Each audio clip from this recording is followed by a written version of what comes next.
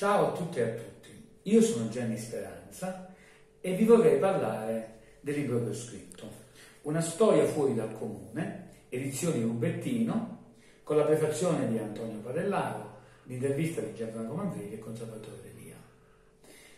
Il mio libro parla di una città dell'Italia di oggi, con le sue sofferenze e con le sue vivacità, eh, con le sue conquiste e con le sue delusioni.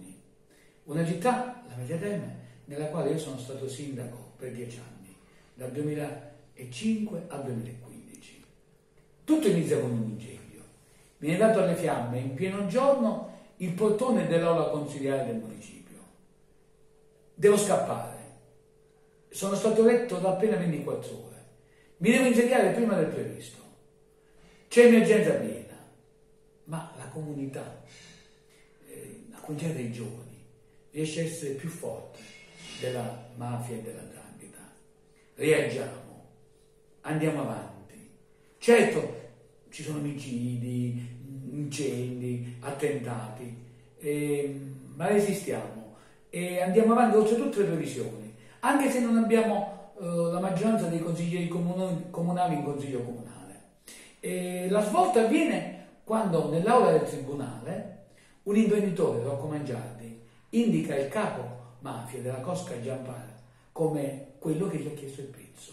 Allora anche i grandi giornali nazionali come Le Monde, il New York Times si occupano della Vezia. La, la mia città viene vista come un'esperienza positiva, anomala, eh, in tutto quello che succede eh, in Calabria e in Italia.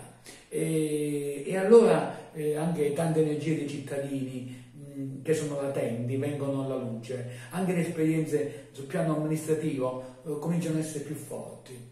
Ecco, per la prima volta dal vivo eh, le gioie e le tragedie, le illusioni e le conquiste di una comunità, di una comunità dell'Italia di oggi, appunto, non qualcosa di locale, ma il nostro paese, una storia fuori dal comune.